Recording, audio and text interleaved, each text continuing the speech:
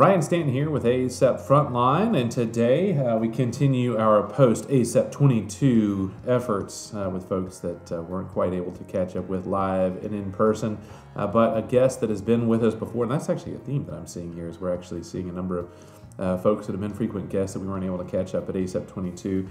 So doc, uh, Dr. Nathan Schlicher, who's byline starts to read like a nurse managers with the MDJD uh, former state senator, all of those things that he has done uh, and accomplished. But he's one of our go tos for sure with regard to the legal beagle aspect of healthcare and medicine.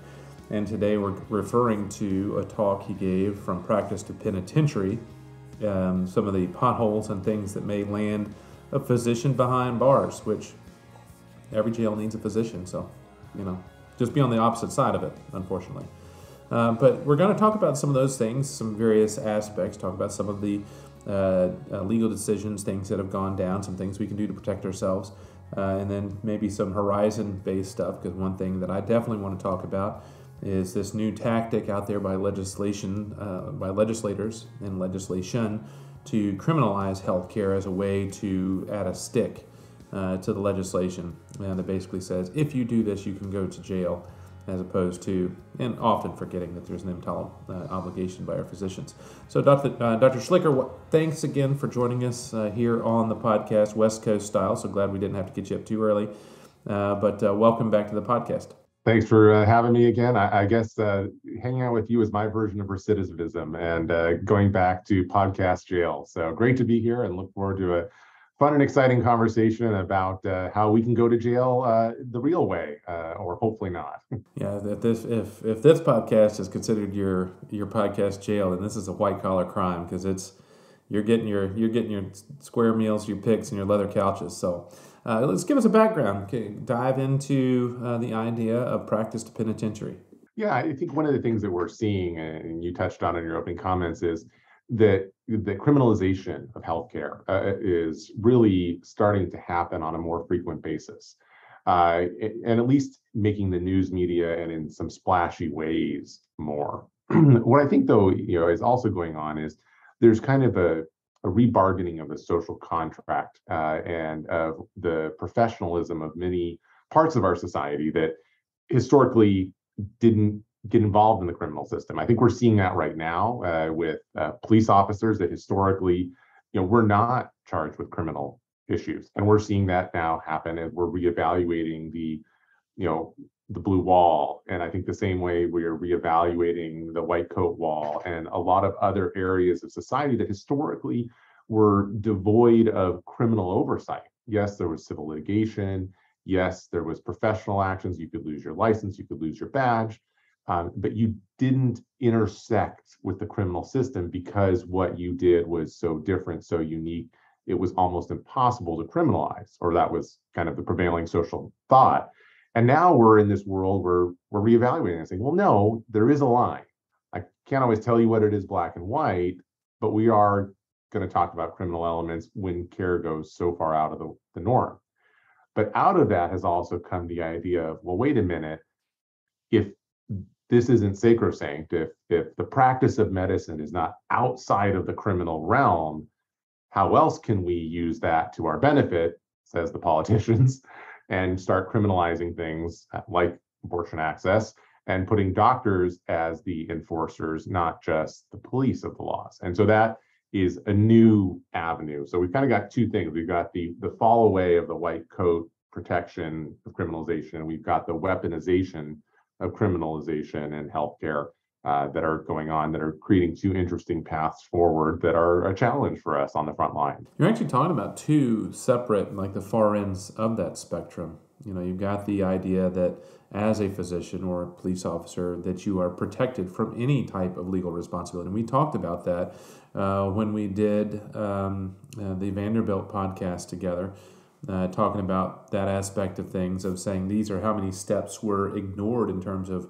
warnings. And when does when does you know just the making a mistake turn to gross negligence which clearly gets us to potential of harm with civil litigation but then gets to an actual criminal act um, with that potential intent on harm or breaking the law uh, but then also with talking about that legislation of turning physicians into a policing agency or making them afraid to actually provide healthcare needed services, of weighing what is within the Hippocratic Oath of what we, uh, how we serve our patients with the idea of I'm concerned about my personal livelihood and safety. Uh, let's let's bounce into that. Uh, the first, let's talk about um, you know that that breaking and pushing the law because we've seen uh, recently. We've seen, of course, the, the civil litigations, but now, especially with the opioid, opioid epidemic, actually seeing physicians charged uh, on the local, state, and federal level uh, for crimes uh, and even murder in that case. Um, kind of walk through some of that. Uh, some of that evolution and, and what it means to us. Definitely, I, think what we're seeing in the opioid epidemic is a great example because you have things on on the range in in kind of a big splay of what it is that we're criminalizing. On the one end, we've got the pill mills where you're pumping out scripts, you know, and that, oftentimes those are federal charges. You know, a number of them, you know, West Virginia comes to mind, uh, where we're just pumping out an obscene number of scripts. And you can say there's really no way that you didn't know what you were doing. And then we've seen it on the individual level with at least the Tseng cases in California, where uh, we've got murder charges because at the end of the day, an individual was prescribing more to a group of individuals that they had a reason to know. Uh, they had a reason to to believe were you know fundamentally misusing that prescription. In her case, there was episodes where those individuals um, were uh, you know caught basically selling their prescriptions, went to jail, and then got out of jail, and she re-prescribed them. There was one instance where you know she couldn't give a patient anymore uh, opioids due to uh, regulations. So she wrote a prescription for the husband. So there you've got again a willful and wanton to that criminal intent. And you know, just to step back and when people think about civil versus criminal litigation, the difference between civil and criminal, civil is that you know you got to have a duty, you got to breach it, and you have to have a, a harm. With criminal law, the key things are you have to have a physical act, the mental thought process, and that's where most crimes hang in a way, and then you know the harm that that results from that. Uh, so you know, in the case of murder, you know, you've got to do the there has to be a dead body at the end of it. I always say, uh, and then uh, you know you've got to have the mindset though that resulted in that. You know, we're we're around and doing things when a lot of dead bodies show up as ER docs, right? You know, we're doing codes. There's a dead body at the end of it. We're not committing murder. You know, there was no criminal intent involved in that. The mental state wasn't there. In contrast, in the case of Dr. Tseng and others in the opioid epidemic, there was a dead body at the end. The, the what we call the actus reus, uh, Latin, was there. The mens rea, the mental state, was also there because there was a willful and wanton approach to medical care that resulted in that harm. And so that I think is what is starting to change is that we're starting to evaluate how physicians are practicing and saying, is the mental state there to criminalize the individual. We can all say the opioid pill mill because that's a black and white thing, you know, the number of scripts there. But the individual care is do we have the mental state? Do we have the thought process, that gross negligence, that willful and wanton, um, or the deliberate intent, uh, you know, of a first degree murder uh, to criminalize the individual's care? Uh, and I think that's where the, the conversation is really going. And, and, the opioid epidemic opened that door, but now we're seeing it in other areas as well. This is a very interesting uh, discussion because a lot of people are going to say, you know, even with the opioid, they didn't specifically, you know, they're going to say, well, murder, I have to have willfully wanton intent to take somebody's life. But it doesn't necessarily mean that my mission as prescribing was that I meant to, to, to kill people, or even as a drug dealer, it isn't necessarily to kill people. It is, yeah, that is, you know, kind of business. It, it, even though, interestingly, you know, talking with uh, Sam Quinones, you know, that is pushing that envelope of, of, of the interest because it goes so far that, you know, it, it's that strong and, and potent. But, you know, with, resort, with regard to the physicians, um, how do you, you, um, how do you make that leap? Because they say, well, they didn't intend to kill them. But how do we make that leap from the we won't say the, the we won't say the dead body, but the chalk line, you know, the chalk line at the end of the rainbow. How do we make that leap from the intent of profiteering, making a profit, prescribing those opioids to that end result of the chalk line and making that the actual intent and connection of a criminal act. Well, and that's what you're getting at is the mens rea, the the uh, the mental thought process to commit the crime. And so the mens rea changes the charge. So the idea of deliberate intent is first degree murder. That's the, the top bar, right? Uh, so that's only the top bar. You can go down from there, second degree murder generally, and, and each jurisdiction is different. So always know the laws in your state, standard lawyer disclaimer. But you know, uh, the second degree murder is generally a willful and wanton uh, standard. Uh, and the idea is that you, know, you recklessly basically proceeded um, down the road of, of your decision making. You know, and then there's gross negligence, which generally translates into a manslaughter charge. You know, and uh, then in some di- jurisdictions, there's also uh, what's just called strict liability, which is that if X happened, then it's a crime. Uh, you know, the classic one I, I use that it's not very often in medicine, um, although I think it will come up in our later conversation about criminalization of healthcare. But uh, you know, historically has not been there. But I tell people, you know, is statutory rape is the example that is most black and white. It doesn't matter what you were thinking. You know, if you're an adult and you slept with a 12 year old kid, doesn't matter what your your mental thought process was. It's a black and white standard not going to happen. That's a crime. We're done with the conversation. So, uh, you know, that's strict liability. In, in most jurisdictions, there is a, a kind of level for that uh, in homicide, but also in other crimes. And the other one is felony murder uh, that comes up in opioids. If you're committing another crime and somebody dies, then it can be usually second or third uh, degree murder in most jurisdictions. So, in that regards, uh, you know, it, it does. Uh, you know, there are different levels. And so you don't have to deliberately intend, because that would be first degree murder. But if you're reckless, if you're negligent, and where that negligence, because we talk about negligence all the time in civil litigation, becomes criminal is a challenge. And that's the, the thing I think we're battling with right now is when is it civil negligence, when is it criminal negligence? And what you alluded to is profiteering, you know, the the intent in a way to do something other than provide medical care. And I think that's what we're seeing kind of tip that level over. Uh, because we can all think of examples of, of, negligent things that happen in life that end up in harm. You know, that's why vehicular manslaughter exists because you were driving drunk. You didn't intend to go out and kill anyone, but you were drunk driving after the hospital's gala and you hit somebody and they died, right? You know, that that kind of thing happens. You didn't have a criminal intent to hurt somebody, but you recklessly put yourself in that situation and resulted in the harm to another. So uh, I think that's where we're going to have to figure out what that line is between civil and criminal. And, and my general answer to most folks is as long as you're doing things for the right reason, it should stay in the civil side of things.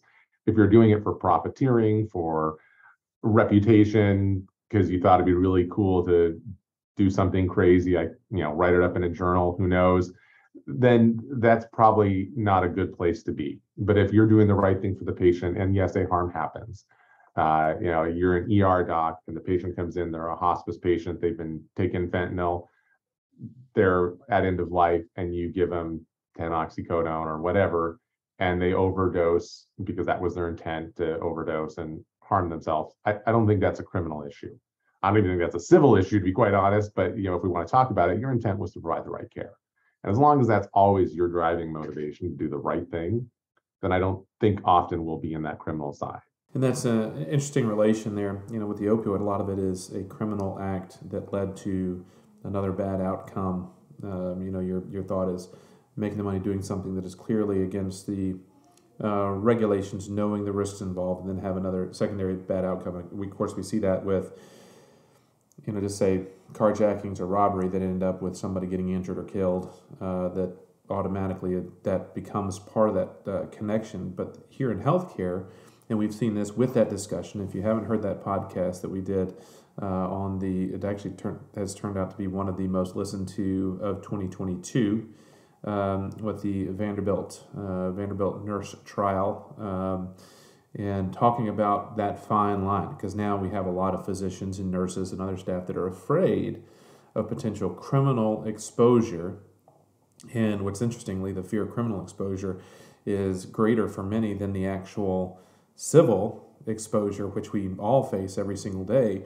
um, kind of frame that idea of, you know, that where you mentioned that gray point of negligence and malpractice to actual crossing that line to the criminal aspect of things, and for those out there that are right now paralyzed with concern about that exposure, of kind of alleviating those fears for 99.99% of physicians, nurses, and healthcare professionals. Definitely, and I think you know, the podcast we did really dove into a lot of this, uh, you know, in more detail. But kind of at the high level, thing I would remind folks is that generally there's one of these sensational cases a year, maybe two. So your risk is one in 300 million in the United States. So it's not exactly a, a huge, you know, likelihood that you'll be involved in one. But in every one of these instances, you know, there was a an intent external, uh, you know, in the opioid epidemics, to profiteer, to recklessly disregard. And in the case of RaDonda Vaught and the Vanderbilt instance, there there was you know a, a reckless disregard, uh, so to speak, for multiple safety checks. So uh, again, I, I think if you're thinking about what am I doing to make sure that I am doing the right things for the right reason, am I providing the medical care that I would want for my family member, and you know discussing that with the, the patient, and am I following the safety protocols that are in my institution and paying attention? And I know we all are inundated with an, an obscene number of new change alerts, best practice alerts, safety kaizen processes. I mean, they they feel like they're coming out of our ears. They're so prevalent. And I work in the quality and safety side of things. So I share the pain on both sides of this experience as a practicing ER doc and the one asking you to make the change. Uh, but I, think it's a reminder that these things exist for a reason. And we're doing this work to improve the quality of care. So if it's there, we should pay attention. Uh, and if it's not being used and it's being uh, a distraction and being overridden, as was the multiple warnings in the instance of the Vanderbilt case, uh, then you know we should reevaluate: Are those safety checks actually working and pulling them out? at some point, you know, we as healthcare, and I use that in the royal we sense, we have to reevaluate all the things that we have put in place because some of them don't make sense anymore. If we go back just to the medicine of it, let's take sepsis care, early goal directed therapy. When I was young, you know, and uh, naive, it was everybody gets intubated, a central line, an art line. They get, you know, blood transfusion if their hemoglobin's low, you know, all this stuff, right? And basically now we've rolled it down to everybody needs antibiotics and fluids might be a good idea. like that's the sum total of sepsis care. Like we used to do all this stuff. We have to reevaluate likewise and all the safety stuff that we do if it's not working and get rid of the stuff that's not helping and maybe doing harm. But what's in your system you should know and you should advocate for change if it's necessary, but you should follow it and work to do your best care because at the end of the day, those things are there for a reason. So I, as we talked about then, I, I, hope that the the Vanderbilt case is a respurring of attention to that safety and quality initiative. That this isn't just stuff that goes on a wall and yeah, we talked about it at Huddle and whatever, or it's an email that you delete and you don't pay attention to your hospital email, email as ER docs because that's the hospital. I work for my group. I work for whomever, whatever the hospital says. I don't care about. No, you're you're part of the hospital. You need to at least read the email. So focus on doing the right thing for the right reason, A, I think you're going to be fine 99% of the time. And B, when you're working on, on patient care, focus on uh, or at least follow the quality initiatives that are at your institution. And if you do that, I think you're going to be just fine. You know, there are lots of other things we can talk about from, you know, documenting when there are adverse events, making sure that, you know, you've got your witnesses, uh, around you, whether that's the nurse, the janitor, the tech, you know, to write down their statements and, and be there if there was a, a adverse event.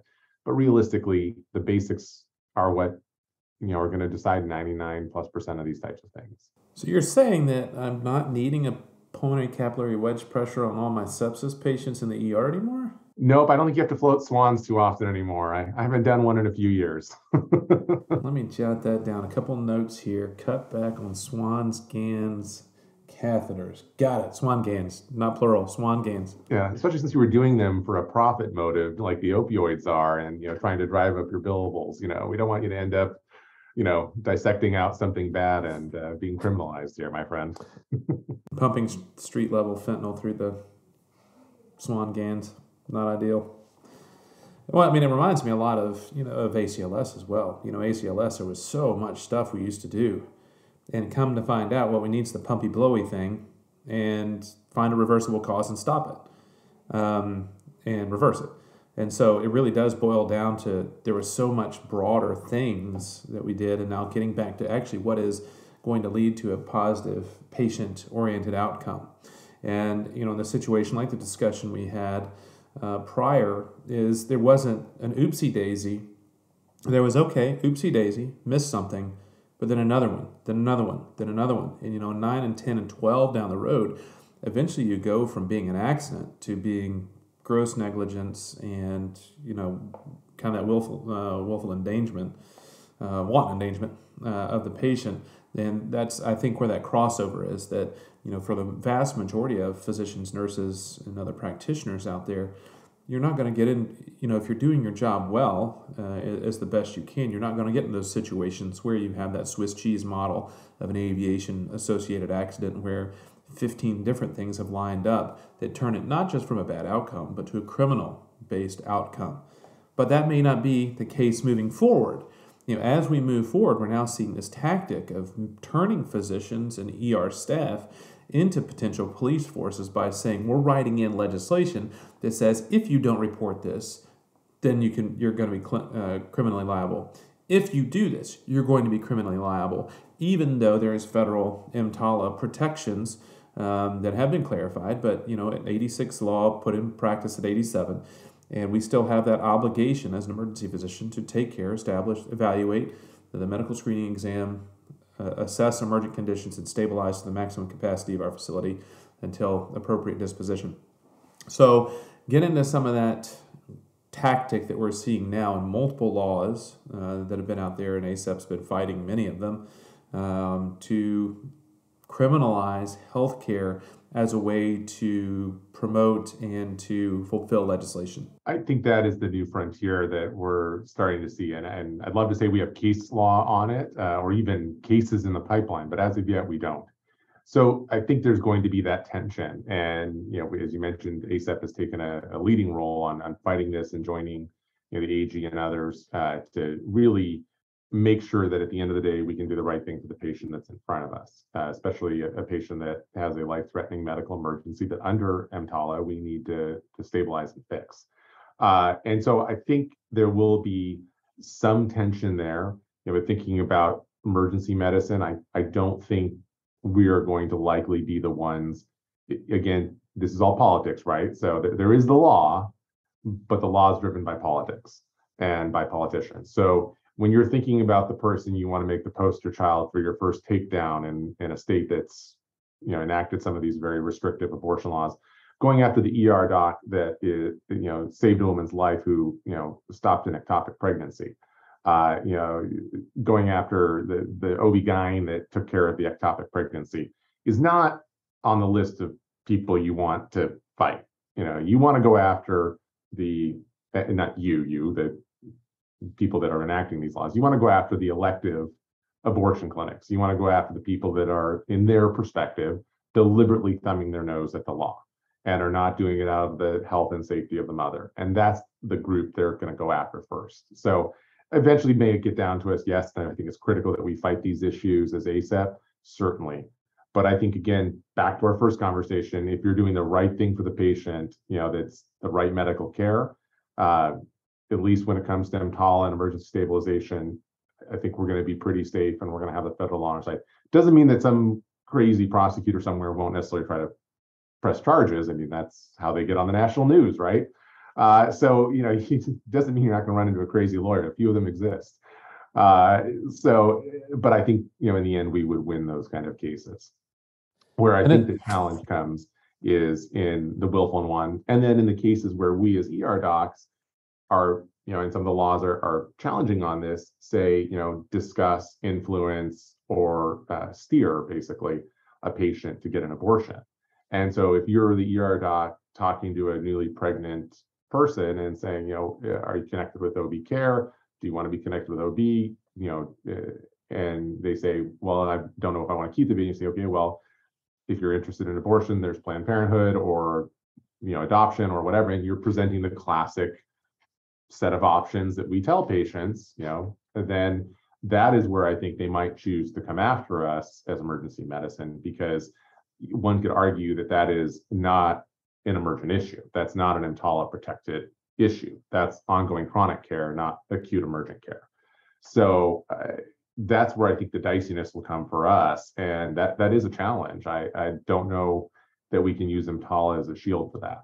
And that is a reason you know, for each of our physicians out there to be active in state level politics. Because even here in Kentucky, when legislation came through, no matter what you feel about the um, access to reproductive health and um, the abortion issue, um, is making sure when that stuff comes out. Because when the Kentucky uh, legislation came through, looking at it said, hey, there's not protections here for emergent situations.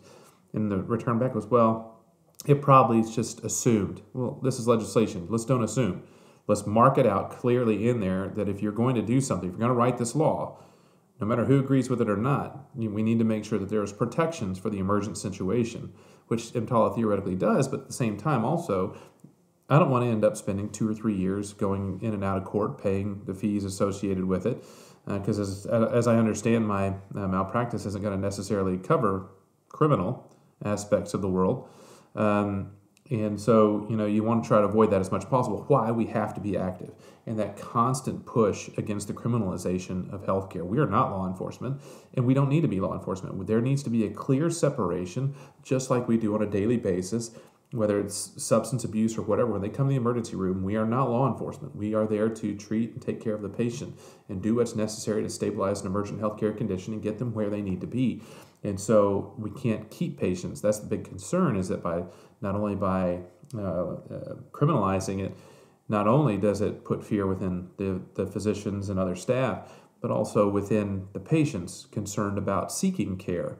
And so you have somebody that has an emergent condition, an ectopic pregnancy, um, or whatever it may be, and sits at home and ends up with a bad outcome because of fear. And that's what we have to maintain is that open, accepting door into emergency medicine to say, if you've got an emergency, we're your people and you need to be here so we can help you take care of it. Um, so, if that's any reason, no matter what topic it is, uh, as a physician out there to be active on your state and federal aspects of things on where they go, no matter which side of the abortion debate you're on, you know the key is the access to care and emergency evaluation stabilization. Yeah and i think you really hit the the head there is, is that interfering with the doctor patient relationship is that you know we are there to advocate for the patient's health not to talk about criminal impact and all of those things. Uh, and you know i had it just this last week a young man that uh, came in um, and was brought in by the police because he was drunk driving and ran into a pole but you know started the windshield. And didn't want to let us draw his blood, didn't want to, you know, give us his urine, that kind of thing, eh, eh, because he was like, well, then it'll be used against me in court. And one of the things I, I talked about, I said, look, none of the stuff we do follows the evidentiary rules of chain of custody. It cannot be introduced into court. You know, they have to, when they want a legal blood draw, they have to have the lab come up and draw it. They put in a special sealed case. There are signatures every time it's opened. It has to be signed. You know, I, I use my lawyer background a little bit to educate this young man about, you know, the, the stuff I do doesn't meet the evidentiary standard. We toss it in a bag with a label on it and send it down in a tube system and pray that the lab gets it right when they cross it over into Epic. You know, that, that's not the evidentiary chain of custody. So let me focus on the medicine. Let me focus on making sure you're alive. You'll deal with the legal stuff later. And you know, it, it took a few rounds, and I finally had the cop. I said, "You agree, right? None of the stuff I'm going to do can be used against him in a court of law." He goes, "Yeah, it can't be. That's why I'm getting a warrant to get his blood drawn." He goes, oh, okay. Well, they can't draw my blood if I want to. I said, oh yeah, once they get a warrant, they can totally take your blood, dude. I said, but nothing you're going to do is going to stop that. So let's focus on keeping you alive here and get get you some care. And then he recanted. And so to me, it's the same kind of thing where we're being asked to be stuck in the middle and where what we do medically could then all of a sudden be a criminal issue that's interfering with our ability to deliver care I pride myself on telling patients that generally what they tell me is not going to impact, you know, their criminal issues or things like that. You know, if they tell me that they're doing drugs, even with the police officers sitting there, you know, it, it generally doesn't uh, isn't something that if I write it down, they can be used against. Maybe there's a admission against interest hearsay exception for the police officer, but You know, I, usually not. So uh, I I do worry about that, especially where it goes from you know lab testing is easy, right? You got to follow the chain of custody. We don't do that. Well, now all of a sudden we're talking about abortion, and a patient says, "Well, I want an abortion. Where's the nearest state I can go to?" You know, then all of a sudden our documentation may reflect that, right? We write down, "Here's your abortion clinic, you know, address." That could be problematic, um, and our records could then maybe be used against them. You know, think about the discharge summary, right? You know, you give them the stack of papers. You say, "Here's your follow up with abortion clinics are us," and the patient signs their discharge paperwork. Well, now they've signed it they've acknowledged the receipt of this. Could it be used against them in a criminal process? I, it's going to be up to a judge and a jury. Well, a judge to decide if it meets the evidentiary standards, um, and a jury to decide whether or not they find that to be dispositive. But I, I really worry that these types of laws will put us in the place of where what we do for medicine could be introduced in a criminal element, and that that's concerning. That's an interesting question. Follow up question to that is is say Kentucky you know, where the only major city that is not on a border is Lexington, like decent sized. Um, every other one, whether you're looking at Northern Kentucky, Louisville, uh, Ash, uh, let's see, Ashland, you look at uh, Bowling Green, Pikeville, all of those are right on the border. Um, what what is that consideration with regard to potentially somebody crossing state lines and that consideration that you know my state may have different legislation than that state? Is there any consideration we need to have when you have that potential that we're bringing two states involved? There has to be a joke somewhere about the definition of major city in kentucky but uh, you know. Yeah i'm sure there that's fine. That you, you, just let it ride. We'll let it ride uh, so uh, no uh, the you, you, hit on a, a real challenging part of this and this is where go back and read your state laws because some states are just the administration of abortion. As long as you're not doing the abortion, you can tell a patient whatever you want, you know, uh, within reason, obviously. Uh, but you know, you can tell them whatever you want. As long as you're not doing the abortion, that's the criminalization. There are others that do talk about, you know, discussion, information, steering, you know, guiding patients to that. Uh, and each state is different as what they are criminalizing. And those states, that is a concern to me uh, because uh, you know, like you said, Kentucky, you know, may not end up having any abortion clinics, but you could go across the river to Ohio uh, and you know uh, find a, a, an abortion provider. You might tell the patient, well, the nearest one here is X, Y, or Z in this state. Well, if that's guiding, steering, you know, directing um, or inducing, then you know that that does technically violate your state law there's an argument again to be made about what the standard of care is and whether or not you can criminalize the standard of care. And that'll again be worked out in a court uh, with a judge. I, I would see that that's probably going to be problematic for prosecutors to uphold uh, that since it is part of the standard of care to include those things. But I think there'll be a criminal trial or two. And to your point, your malpractice may not cover it. Um, there are insurance companies now offering criminal legal uh, insurance. Uh, you can't uh, insure criminal activity, but you can insure against the cost of litigation. So one of our local insurers, for $17 a year, they'll provide a quarter million dollars worth of legal fees uh, should you get criminalized. Uh, so I think that is a concern. Uh, that's out there. The other piece uh, that is tangential uh, to it in a way, but I think is the next phase in this evolution, is to not just criminalize it, but to put it in your licensing. So, okay, we can't criminalize it, but we as the state of Kentucky have said we don't believe in abortion and we don't want our people practicing it or educating to it or anything else. So we're going to put it in your, you know, that long attestation that says I haven't lost my privileges, I haven't lost my ability to provide Medicare, I haven't been kicked off of medical staff, I don't do drugs and alcohol, you know, I'm not impaired. There's nothing that necessarily prohibits them from adding a question that says, you know, I will not provide abortion services counsel or direct anyone eh, on how to receive abortion services, whatever you want to put in there, uh, as the language. And then, you know, using that as the way that they come after us. Not criminal, but equally as damaging. You know, you lose your license in one state.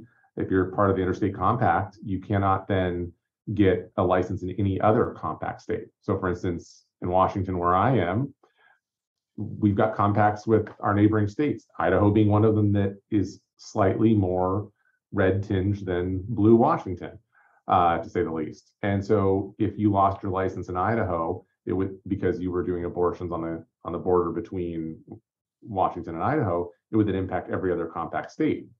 Uh, so I think that's the the next evolution of this. If we can't get you for criminalizing it because it's just going to be too messy and too problematic to go after doctors that are just providing education. I, again, if you're doing active abortions, I think that's probably where they're going to go first.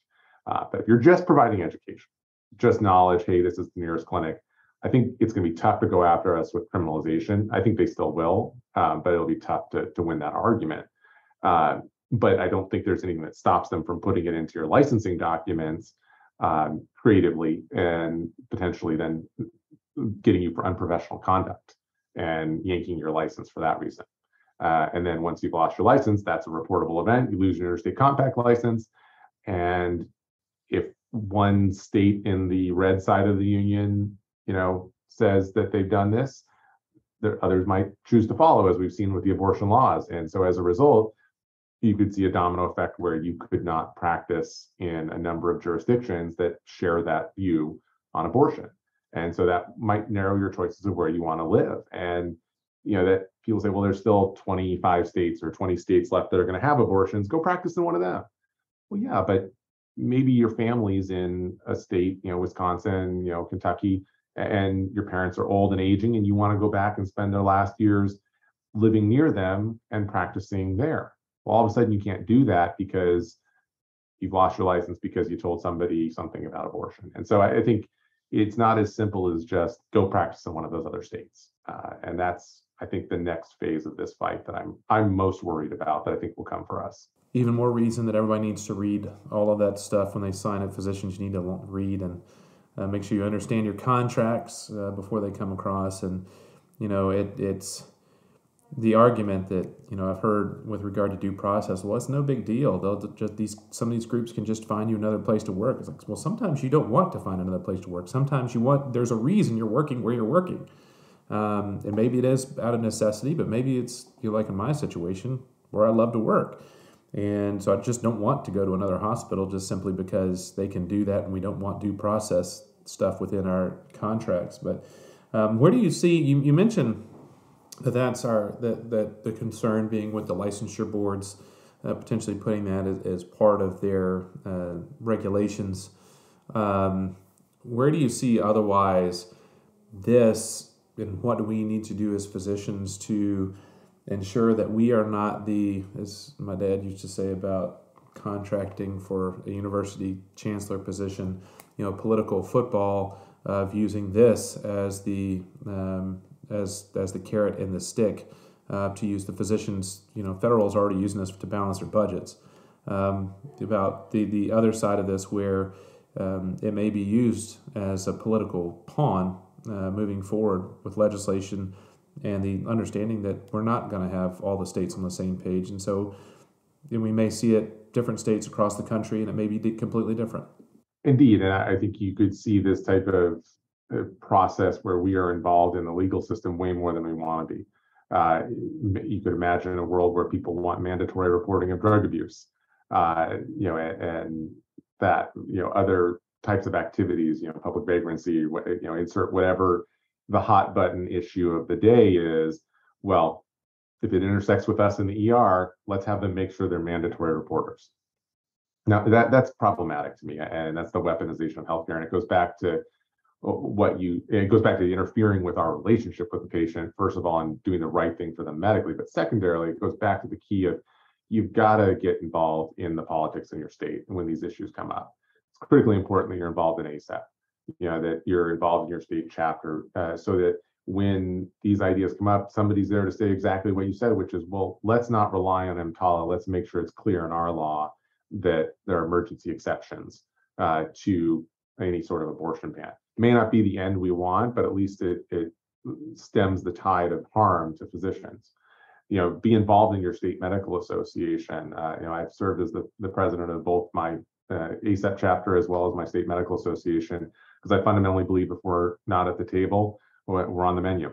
Uh, and uh, that's what we've done with the opioid epidemic, where we went from being uh, the uh, poster child of the problem and all the scourges of opioids were resulting from physician prescribing and spent the last decade working with the state government to the extent that last week, you know, in front of the Joint Legislative Committee, uh, the Department of Health came out and said physicians are no longer the drivers of the opioid epidemic, which was a huge win in a decade. You know, it seems like it's been forever, but you know, that's the kind of thing of constant ongoing engagement and working with them to come up with solutions and tell them how what their brilliant idea is may actually do harm uh, can, is so important.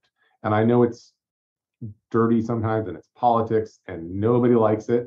But on the flip side, it is so important that we are there to protect our patients, our ability to practice, our ability to deliver the care that our patients need.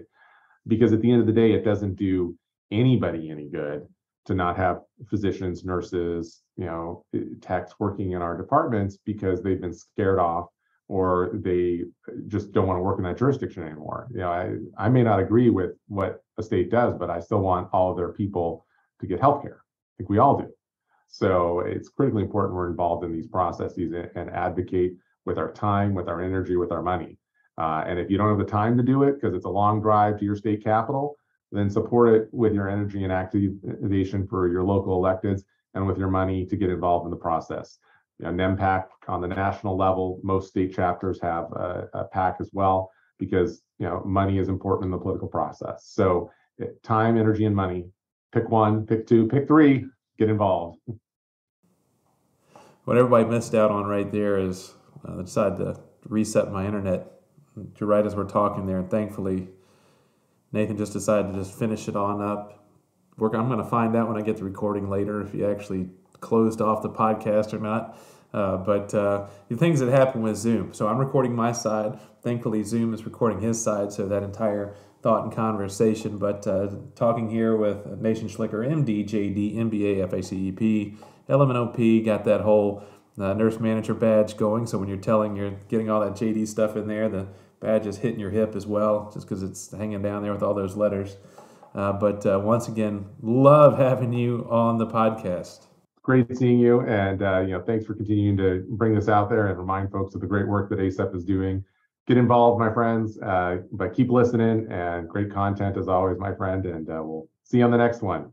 Well, we appreciate it. And what people are missing out on is the dramatic angle where he's got his camera set up. It's got him off to the side so the, the bubble menu can show up on the side with all the points uh, to keep me in check.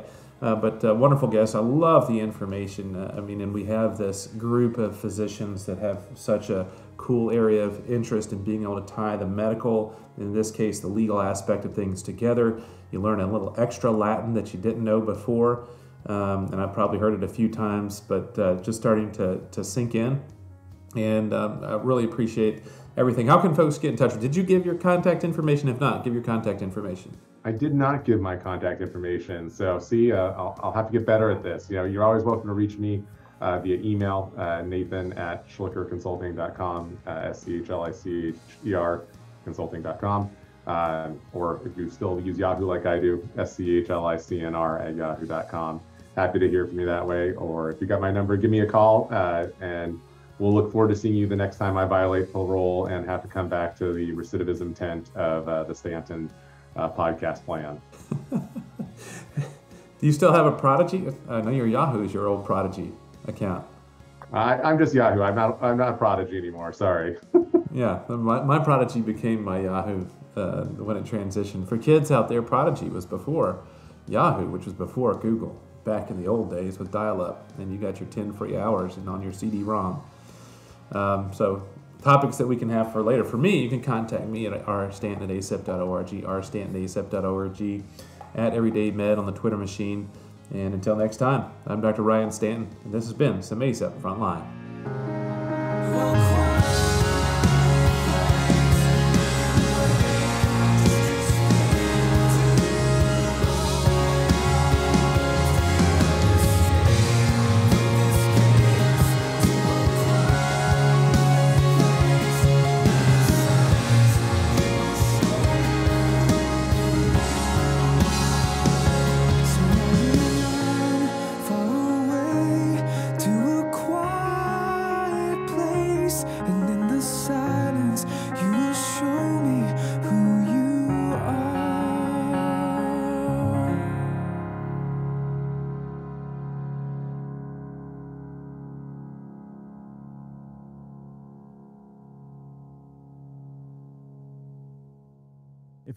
Front lines, you're on the sidelines.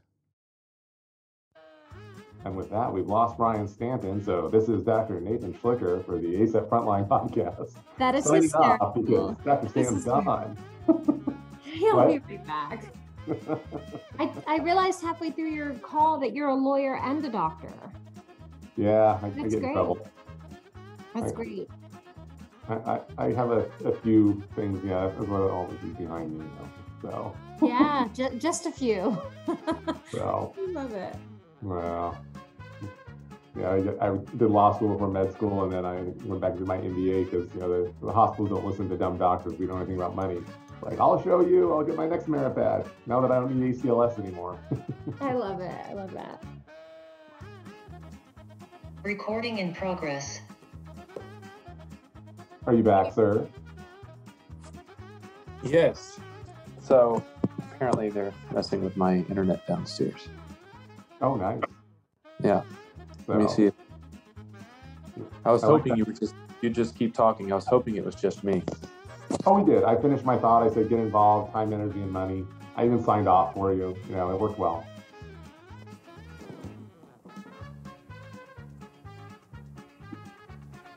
But I Perfect. assume Melissa has the recording, right? Oh, she's got it. That's that's the reason we do it like this. Yes. and I, have and I record have my own side. Recording. He's talking on mute. Should we tell him? Should we tell No, him? No, just because I turned off my other one. I've forgotten. So you, you did finish your thought? I did. So time, energy, and money, get involved in the political process is where it left off.